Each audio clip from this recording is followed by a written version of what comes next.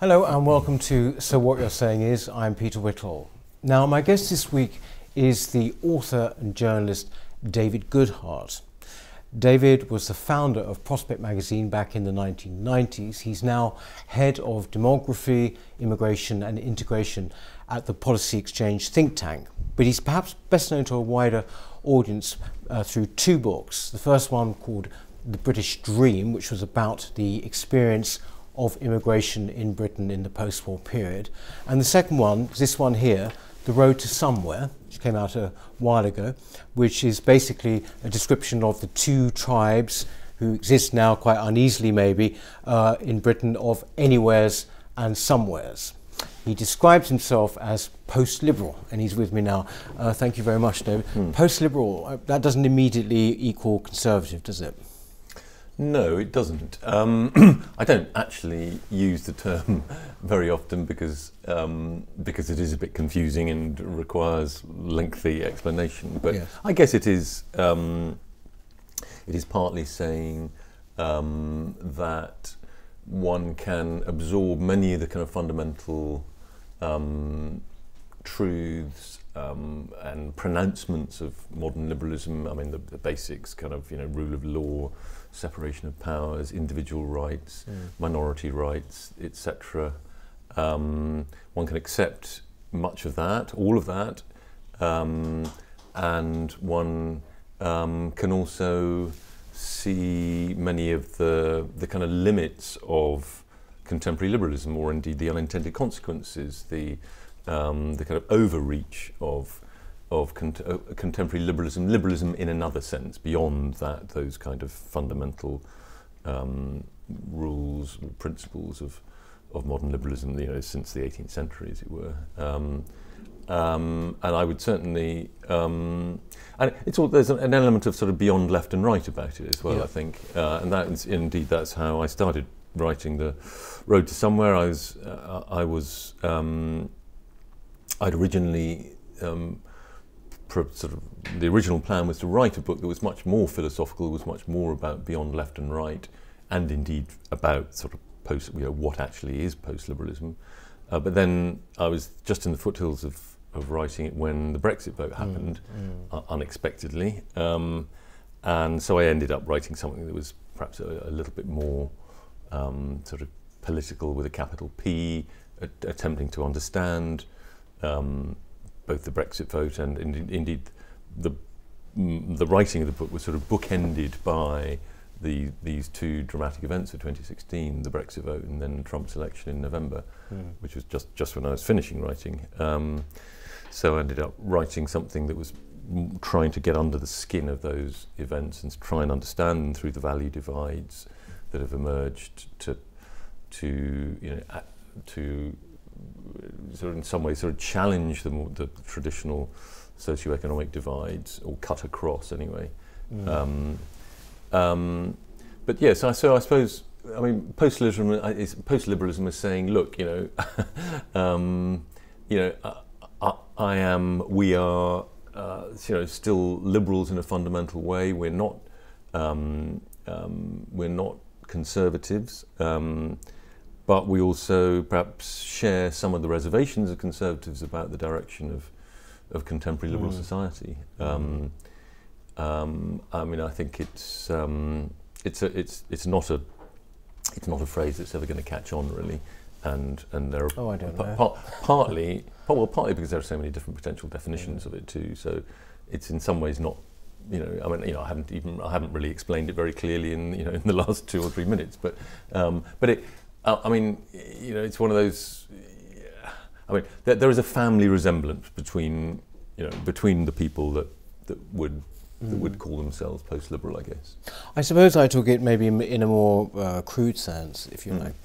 You talked or you wrote an article, How I Left My London Liberal Tribe, for example. Mm. Um, and I think that's how most people understand it. I mean, for those who maybe are not so aware, you mm wrote a, a famous article in, in, in, Prospect, now famous, I'd say, called Too Diverse, did you not? Back Question in, mark, yeah. yeah two, in uh, yeah. 2004. Yeah. And this seemed to be a sort of break for you, possibly, from the position you might have had then and looking Mm. more critically at, for example, the effects of immigration when it came to welfare state, when it came to cohesion.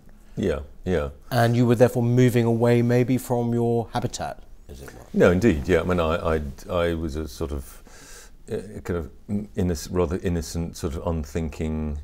Um, I didn't think I was unthinking. I thought I was terribly thoughtful, but I was basically a kind of innocent, unthinking centre, uh, well, liberal lefty. Um, um, I, when I set up Prospect in the mid 1990s, we were generally seen as a pretty liberal magazine. Um, um, although I think we all, we always sort of had a there was always quite a strong contrarian streak in it too, um, you know, challenging some of the shibboleths of contemporary uh, liberalism. Um, yeah, and then I, I kind of stumbled by accident really into the whole area of race and immigration and multiculturalism by writing this rather rather abstract um, um, um, essay, five or six thousand word essay on the tension between diversity and solidarity, which seemed to me the sort of one of the central issues for the modern centre left, uh, which which um, you know you know which which admires um, and um, wants to further both of these principles. These two principles are kind of at the heart of the modern left, you might even say, and clearly they are in tension with each other.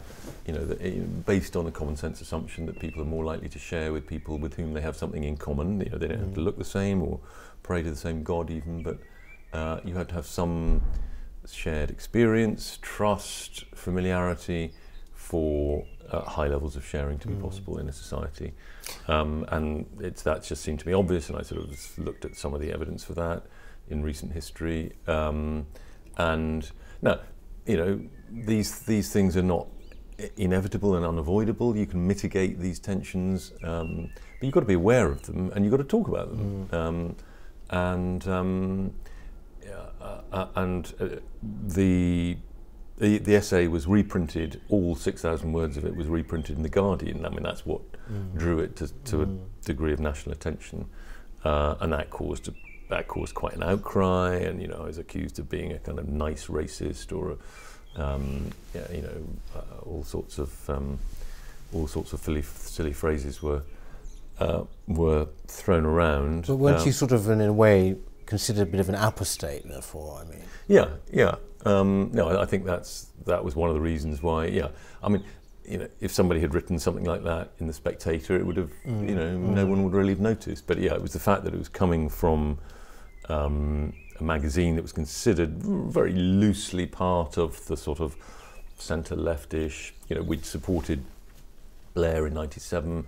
We'd been quite critical of him over, over quite a few things subsequently, but um, we were generally considered.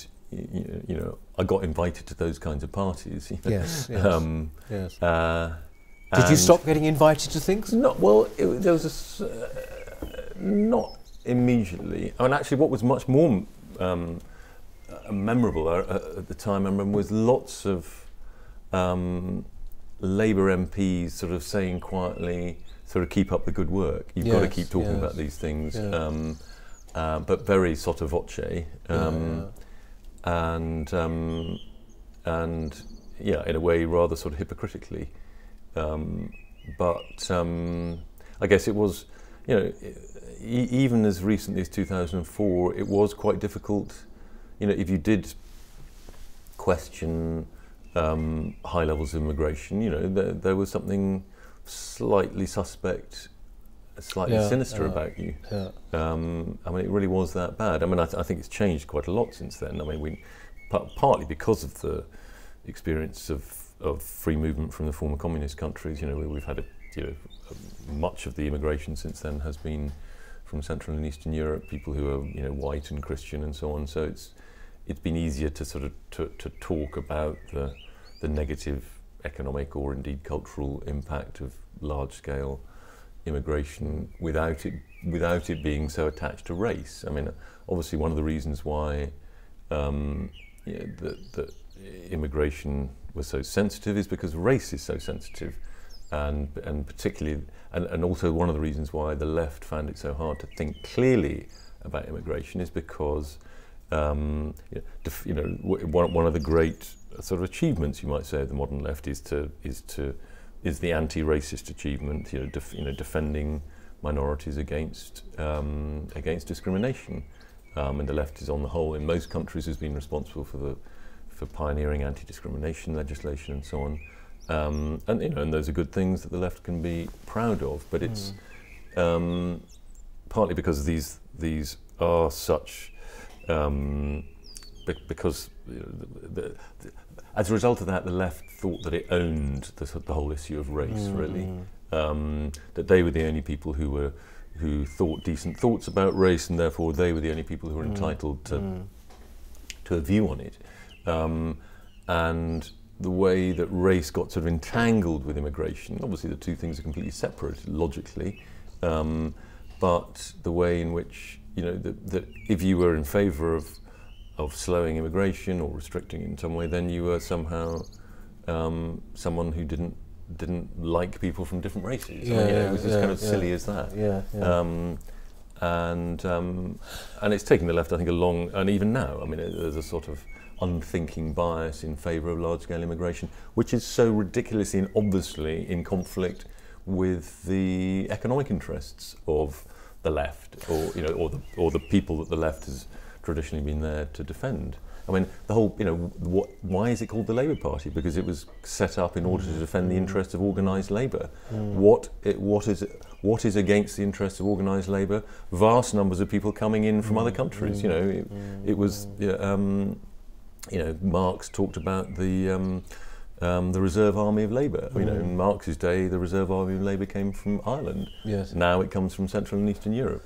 Um, You see, you said there that uh, it was still considered slightly sinister even to talk really very much about migration in 2004. Mm. Yeah.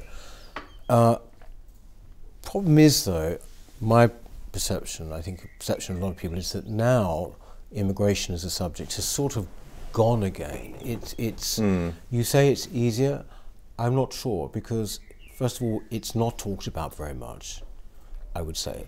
And then, secondly, on, on top of that, the mass immigration, as opposed to just what you might call immigration, Mm. has become normalised. So, so to the extent that, say, two to three hundred thousand. I think this was even uh, pointed out when you were writing your book, was that two hundred thousand to, to many on the left seems like quite normal. I, Yeah. I would say that's not normal. Would you? No, no, I, I, I agree. Um, And it's hell I mean, a lot more. I, mean, I think it has. Uh, I think we, I think we do talk about immigration quite a lot now. I mean, just actually in the last few months, the whole, the whole sort of subject has died down. I think, I think partly because of Brexit, partly because people think, well, you know, at last we are going to Yeah, yeah. be back in control of Mm. uh, of all forms of immigration. I mean, there remains a bit of a question mark over that. Um, it's true, but um, uh, I mean, I think uh, aside from that recent lull, um, I mean, in, in a sense, it's sort of justified lull in concern. Um, I think we do talk about it quite a lot, um, and certainly, certainly, um, you know, and, and we talk about it in quite sort of, you know, gritty detail. You know, I mean, you know, But do politicians? Politicians don't.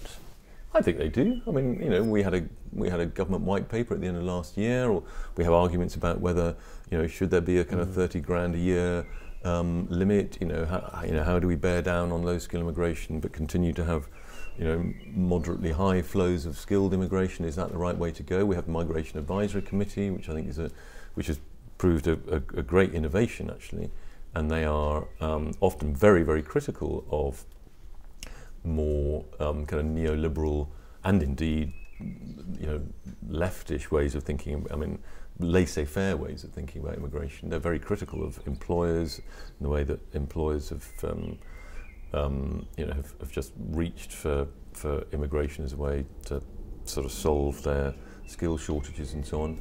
Um, I mean, it's a, it's astonishing. One of the few, one of the sort of social facts that is is far less well known than it should be is just how uh, there's a guy called uh, Francis Green at UCL who tracks these things that there are lots of government surveys that support what he's saying that since 2000 I mean since well since the late 1990s actually uh, and and particularly since 2004 5 um, the amount of um, money that employers spend on training has declined, but I think it's anything between 20 and 25 percent. The amount of time that you know, that, that um, sort of per head um, people spend being trained mm. has declined by 50 percent. I think some enormous figure, um, and this should be more more prominently um, discussed in the, in the public debate. I mean, I think uh, I think employers have had um, uh, you know a, a, free lunch over over free movement. But in a way, there's been a strange sort of alliance, hasn't there, between what employers want in yeah. terms of the cheap labour. And also what the left wanted mm. in hmm. terms of pure, mm. as it were, you know, the whole rubbing their nose in diversity argument. The, yeah. the, the two sort of came together almost, did they not? Yeah, yeah. You find them on the same platform almost.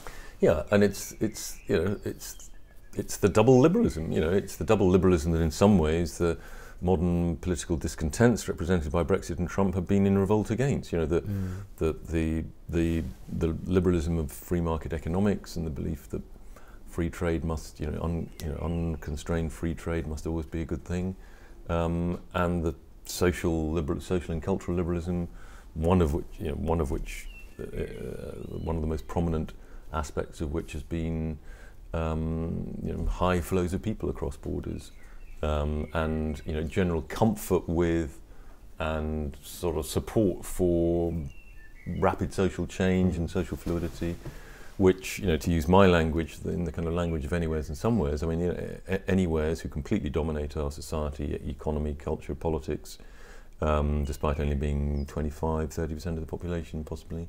Um, I mean, these are not hard and, you know, there are sort of fuzzy borders around these things. We're talking about worldviews. You know, not everybody, you know, signs up to the full, full kind of anywhere or somewhere worldview. Um, but but but you know, anywhere people tend to have what I call achieved identities. Their sense of themselves comes from the fact they passed exams when they were young. Mm, they went to more mm. or less mm. good universities. Mm. They had they had more or less successful professional careers. They're mobile. They're often very individualistic, even if they're on the left. Um, and they're comfortable with social change. They tend to have weak group attachments uh, and a, a relatively weak attachments to place. They, they may, they, you know, they, they, you know, even if they don't live where they came from, they will still, you know, as, as many people who felt uncomfortable, who didn't like my book, would say, but you know, I live in Stoke Newington, I'm very attached to it. And of course they are. I mean, um, I, I, don't contest that for one moment. It isn't the places they originally came from, but they've, you know, they've ended up in, yeah, yeah, yeah, in somewhere that they, that they feel a strong uh, community attachment to. But that is sort of somewhat different, I think, to feeling an attachment to the place you originally came from. Mm, mm. Um, in any case, you know, the, the, those attachments are much weaker, I think, on the part of highly educated people partly because they have been they have been mobile and they're um, they're you know they're they're attached to kind of looser networks of people with you know who have who with shared you know, who share their views about things um, and are you know are comfortable with social change um, and that's the point. and and there are a great many people in our society who, who people who have more ascribed identities whose sense of themselves comes from group attachment and attachment to place um, who who don't feel that same comfort. And if, if, you have a if you have an identity that is sort of built around group and place, then it is much more subject to being um, disrupted or discomforted by by social change. I mean, these are seem pretty obvious things, um, and um, and they you know they should be you know what we talk about in our politics. Mm we're sort of talking about them now, I suppose, anyways, in some ways, uh, because of Brexit. But how long have these, if you call these groups, these tribes, one much smaller than the other, the Anywheres, mm. Although much more influential, how long had they eh, been in existence before Brexit? I mean, Brexit kind of revealed them. I remember there was just an anecdote in one of your books, in the British Dream book, about people you were having dinner at some function with, you know, pretty top top brass civil servant, I believe, and an academic, and there you relate how their whole approach to the world was entirely global. It was that they they had they felt they had an obligation to people yeah, just yeah. as strong in other countries as, to here. You know that they would be, I suppose, classic anywheres, would they not? The, extreme anywheres, yes. I mean, I actually named them. I mean, I, I, I used the uh, anecdote twice. I used it in the British Dream, but um, um, the civil servant in particular was still, I think, um, head of the civil service at the time, so I didn't actually name him. I did name them both in um, in the road to somewhere. It was Gus O'Donnell. Mm. Gus O'Donnell. I was sitting next to Gus O'Donnell at a dinner at Nuffield College, and he. Um, I said I was writing a book, book, about immigration, and he said, "Oh, you know, when I was at the Treasury, I was always in favour of kind of, um, you know, as, as much immigration as possible." Um, and we sort of talked a bit further, and he and he came out with what I thought was an absolutely astonishing thing to say, particularly if you're head of the National Civil Service, which is that um, you know, I believe in maximising global welfare, not national welfare. Mm, mm. Um, and um, uh, and I happen to be sitting that the uh, the man to my left um, was these were probably the two most powerful unelected people in Britain at the time. Uh, Gus O'Donnell, and to my left was Mark Thompson, who was then head of the BBC. And I said to Mark, "Did you just hear that? You know, the head of the National Civil Service just said that he thought it was his job to maximise global welfare." Um, and um, and Mark Thompson said, "Oh well, well, well, I agree with him, of course." You know. um, and um, and uh, that that sort of I think was one of the kind of inspirations for writing both of my books, actually, in a way. But uh, it is extraordinary because these these people are hugely high up, uh, very emblematic of that attitude. Uh, in some ways, surely, you know, Brexit was a revolt against that and the, the, the anger which has been now directed, I would say, mm. at Brexiteers comes from th- that sort of attitude and people feeling, you know, actually they've had their way for a very long time and they're just angry that somehow it's being challenged in some way. You, you mean the Remainers? Yes. Yeah, yeah. yeah. Um, you are a Remainer yourself, are you not? I, I voted Remain, yeah. I mean, uh, I mean, I think we should respect the vote. Uh, I think we should leave the European Union. Um, but yeah, I mean, I voted. I mean, largely for sort of for reasons of sort of small c conservatism in a way. I mean, everybody was voting in a way for reasons of small yeah, c conservatism. Yeah, yeah, um, um, but yes, I think it, it is slightly depressing the way in which um, the you know the, the, political class has sort of has you know which is what sort of seventy percent remain, um, if not more. Uh, certainly, Parliament is you know has uh, I do think it's it is very. I mean, I think what has happened. Like, obviously, what has happened has been partly determined by the fact that the government has not had a, a majority in in the, in Parliament. Mm. Um, but there is a sort of deeper. There's something sort of more deeply depressing about it. I mean, I think it really is the sort of be careful what you wish for that we have spent so much of the last 30 years or so talking about expanding the boundaries of individual freedom, about um, about um, about welcoming diversity, about um, feeling you know happy that that we are in a way becoming a more fragmented and pluralistic society. That you know we pursue different different faiths, we have different different values, um, and yet still more or less manage to kind of live together more or less peacefully. Um, and yet it has clearly taken its toll. The fact that on something as important as this, we have not been able to, uh, you know, the, the, different sort of factions in Parliament have not been able to um, submerge or suspend their differences for the greater common good. The fact that we haven't been able to work out what the common good mm, is, mm. Um, I think it shows that there's there's been a sort of draining away of that, um, both of the sort of almost the kind of technical ability to come to compromises.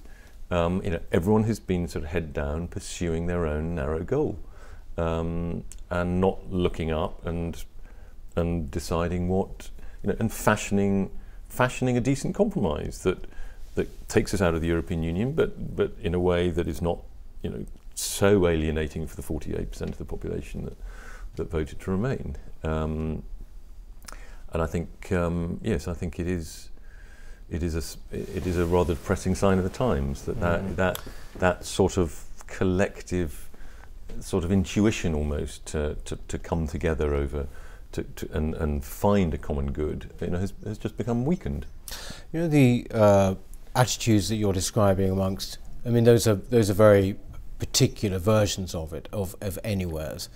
Uh, you have anywheres, you have somewheres, but isn't there also another tribe, maybe even smaller, what you might call nowheres? These are people, it seems to me, who don't really care very much about the European Union. They're not really, but they just they have a kind of strange nihilism about Britain and about the nation state generally. I sort of a, a dislike. They would be happy to reduce it in any way, but they're but they're, they're not especially, mm. you know, European. They will say they are, but it's a kind of strange. It's this this kind of self hate that goes through much of European society now. Yeah, I, I, think I think it's true. I mean, I think there's been a, um, you know, in in the modern academy there is a very, um, very strong liberal left um, hegemony in many mm. many humanities and social science departments, um, and um, I think that is partly to do with. Um, hostility to um, the domination of, you know, we come from a country that has been dominant in global terms, uh, at least until a few decades ago, you know, was, was one of the leading countries, if not the leading country in the world for, for a couple of hundred years. Um, and, you know, and modern democratic, egalitarian, um, you know, ideas of equality, both in social class, in ethnic terms, and so on, um, you know, look back on our recent history and feel dismayed at that degree of domination. You know, the, the domination of one group over another is, um, um, you know, is is seen as, as a as a kind of wound. You know, the empire, um, you know, is is seen as a as, as a as a as a ghastly mistake. And, and obviously that is judging the past by the standards of the present. But doesn't it go, sorry David, doesn't it go mm. further than that? In the sense, you know, if you go back, I know it's a very hoary old, old, old quotation, you know, Orwell said about the English intelligentsia having a kind of mm. distaste for England, for their nationality. He said it was almost unique in that. Now, that seems to be quite separate to guilt about empire. Uh, well, there was always there was always a um, there was always a sort of small segment, often of the kind of educated classes, who were in a sort of um, permanent revolt against the empire. And, and actually, I think one has to, you know, it's almost the, the sort of, you know, families like Jeremy Corbyn's. You know, his parents famously met on a on a kind of anti-Franco demonstration in the 1930s. You know, they were the people that, that who sort of they were the liberal conscience of empire in a way. You know, those people going back a couple of hundred years, and and and I think you know, sort of good on them in some ways. Um, you know, they were responsible for some of the, um, you know, bringing some of the, you know, for, for exposing some of the worst atrocities or brutalities of empire, and um, I don't think they they aren't the problem really. I don't think. Um, I mean, they were they were partly trying to hold the empire to a to a kind of higher liberal standard. Um, now, I mean, yeah, it's true. I mean, there, you know, what Orwell was talking about. I mean, he was, you know, probably talking about people who were kind of members of the Communist Party in the 1930s or on the fringes of it. Mm. I mean, I mean, just to go back to to Gus O'Donnell and Mark Thompson. I mean, they're, they're I mean, you know, there are lots of different kinds of anywheres. Um, as indeed there are lots of different kinds of somewheres. There are huge gradations, and there's a big in between a group, about 25% of the population. When I say in between, I mean people who sort of share almost equally the sort of anywhere and somewhere worldviews. Um, I mean, I think there is there is a uh, the kind of more extreme anywhere end represented by the sort of Gus O'Donnell, Mark Thompson view, you know, those sort of citizens of mm. nowhere, you know, in, mm, yes, in Theresa yes. May's famous speech, people who are genuinely, you know, very, very globally minded, spend their lives in, in you know, airport lounges and, mm. and probably have more sort of, you know, connections internationally than they do uh, and, and, and feel really quite a weak attachment to their to their own countries often. Um, um, but they're a very they're a pretty small number. I mean you know most anywheres have kind of normal moderate national feeling I would, I would say. I mean they're you know they're not perhaps as patriotic as many more rooted somewheres, and also, of course, national social contracts matter a lot more often to poorer people and people who feel they have relatively less sort of sovereignty in their own in their own lives. I think often are sort of comforted by the fact that actually there are kind of levers you know, there in London that can be pulled and things happen. Um, David, the mm. anywheres that we're talking about, they are to a great extent in charge of the cultural direction we take. They, I would say, are tend to be characterised by basically feeling this guilt that we discussed or not being particularly proud. Now, fact is, if you're getting or trying to get people to integrate into that, how do you do it if those people who are in charge of that don't even really believe in it themselves? How can you convince people to integrate? Mm, this is the mm. you you you're working in integration at, uh, at yeah. the moment in politics. Yeah, no, I mean how, you're right. I mean, I, I, I, go to lots of seminars where people essentially say, well, you know, what is there to integrate into? Yes, you know, yes. um, this is the where it's, it's in cultural and social matters the left is often espousing a kind of Thatcherite. There is no such thing as society. Yeah, yeah. Um, you know, you you know, you say, you know, that, that, you know, why can't we have another, you know, 200,000 people from Afghanistan? Because, you know, we're all just individuals, aren't we? You know, they can mm, just sort of, you know, so long as we provide them with sufficient housing and education, it'll all be fine. Um, they are sort of a culturalist, you might say. They don't believe that, that, that, that societies have distinct flavours and characteristics and cultures. Um, and yeah, it, it is part of the sort of liberal individualism of, of the left um, when, it, when it comes to these issues of integration and immigration and so on.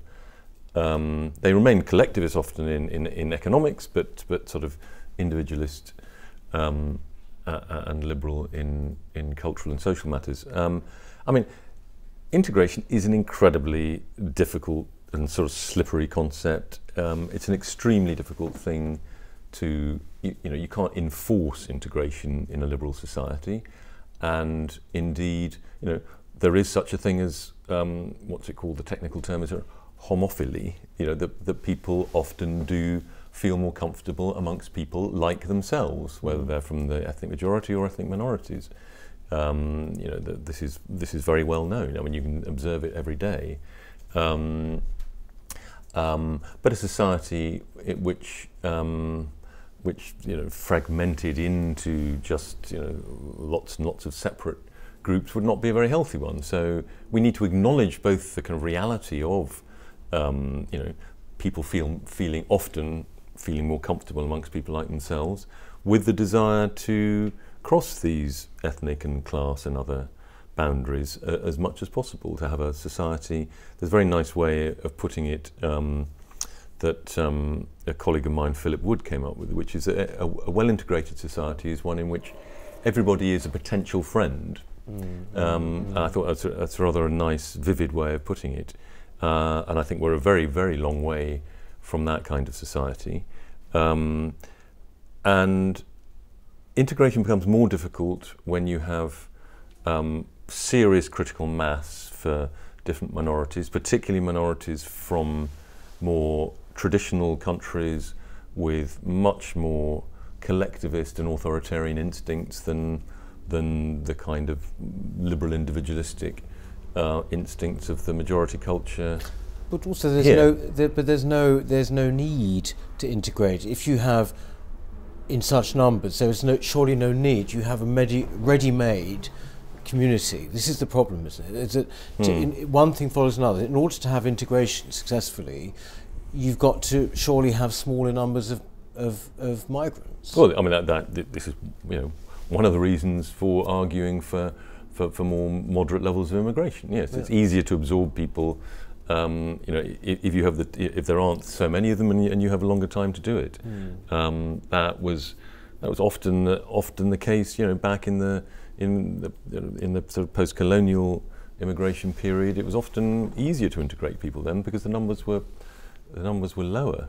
Um, but you mentioned, by the way, earlier when we were talking um, before we came on air about uh, the is it the, the Danish. Uh, what they are doing. Yeah, I mean, I mean, they they, they, represent the kind of the most draconian uh, end of the spectrum. But I mean, I think quite a lot of what they're doing, we should certainly look at. I mean, it's you know, what are it, they doing? It, it's almost sort of Singaporean. I mean, you know, Singapore does not allow, um, uh, or rather, it, it enforces um, integration in, in, in housing, particularly. You know, there there are sort of quotas. You know, you cannot mm. have more than a certain proportion of of people from a certain background in a particular housing estate, mm. for example. The Danes, I think, are doing something similar um, in in neighbourhoods. Uh, they're enforcing very very strict rules in schools. So they are basically saying we are not going to have, as we you know we have many schools where uh, you know 90% of the children, you know, if you go to Tower Hamlets or wherever, 90% of the children will be will be Bangladeshi background. You know, you go, you know, a, a few miles away, it'll be 95% will be will be white British. I mean, the Danes are saying we're not having that. You know, we are going to um, we're going to make sure that um, you know we spread out the minority kids so that there you know that there is never going to be more than a third. I think I, mm. I, I'm not quite sure what the exact figure is, but no more than a third in any particular class. Yeah. Um, now, I mean that's um, you know given that that minorities often concentrate together. I mean that rec- probably requires you know quite a logistical effort in moving people around, um, but they're prepared to invest in it. Um, you know the, the Danes are, are, are, very worried about these things, even though their their immigration numbers have come have, uh, have come down a lot and are rel- rel- relatively low now. They are they're being very very tough minded about it, um, and you know and people who are who are saying they don't want to comply with these rules are saying, right, well, you're not getting any welfare benefits. I mean, they're right, right, you know, very you know, tough-minded in a way that um, probably relatively few other European societies would be at the moment. But how, when it comes to integration, the, it, you're talking very practical measures there, i.e. dispersing yeah. people. When it actually comes to the actual culture, making people integrate into that, the, the moral code, the social code, all of these things, how are they dealing with that in Denmark? I mean, I, I don't know. I mean, I, am not an expert on the on the Danish story. Um, this is where all the flashpoints seem to be happening more and more here. I mean, yeah. with the case in Birmingham, for example, and the parents in Birmingham, mm. and hmm. this sort of th these areas. These yeah, I, I, agree. I mean, that that is a uh, you know a, a, fascinating example of you know you know be careful what you wish for. This is what this is what it's like living in a multicultural society. Yeah, you know, in a sense, you have to allow conservative Muslims to object to homosexuality being taught in schools. I mean, I mean that is um, you know that is their right in a liberal society. I mean, they they shouldn't win the argument. Um, I do think we need to. I mean, the whole British values thing I find a bit clunky. Um, I would like there to perhaps be a bit more emphasis on teaching British history. Um, I mean, that also raises difficult issues. I mean, people, uh, you know, coming here from different countries, often countries that have been on the wrong end of the British Empire, but but but none that you know we still have the British Empire in common, um, and it's surely not not beyond the wit of man to teach the story of the British Empire relatively neutrally. Yes, uh, there were awful things about it. There were there were there were good things about it. Um, you know, we can we can teach these things surely in a relatively neutral and balanced way. Um, I mean, I think so. You know, shared history, you know, wanting people, as it were, to to kind of adopt you know, adopt British history as their own when they come and live in a country. Perhaps not the first generation, but certainly by the second generation.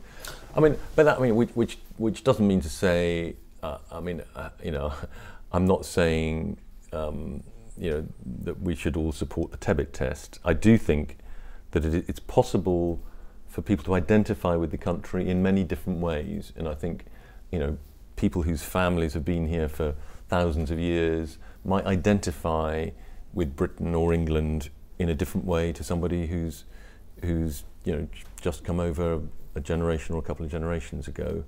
Uh, they will identify perhaps more with the political freedoms, with the with the economic wealth, with. But I, th- I, mean, I think over time, we you would hope that people become absorbed into that you know the kind of invisible common norms and sort of shared historical references, you know, turning a blind eye, you know, the Dunkirk spirit, all of these things that are that are sort of in our in our vocabulary that that that speak to our history. It's a it's a very it's a very nice idea, but um, I I can't help feel a bit sceptical about it simply because of the as I said the sheer the, the the numbers involved mean that this becomes very very difficult. But uh, Well, are you? Are, we have to finish now. yeah. But I mean, are you are you more, more optimistic now than maybe in 2004 on these issues, or less?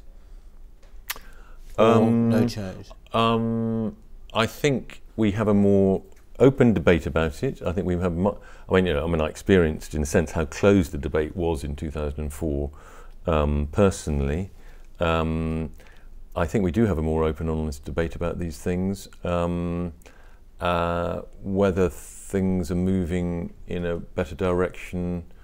I mean, I think I think Brexit will have a, a, a, a kind of a break effect, perhaps on. I mean, the, you know, the, the anywhere political classes have received a great shock, and I think they. I mean, despite their, well, you know, the sort of political petulance that has been on display, you might say in, in recent weeks and months, I think there will be a recognition that that actually they were too oblivious of their own cultural and political domination, hmm. and that there will be some adjustment to that. I mean, I'm, I'm, I'm reasonably hopeful that that will take place, perhaps, perhaps a little bit too hopeful. Well, here's hoping anyway. Thank you very, very much, David. Thank All you. right. Thanks very much for watching. Uh, so, what you're saying is, um, please do subscribe, as I say every time, and we'll see you next time. Thank you very much.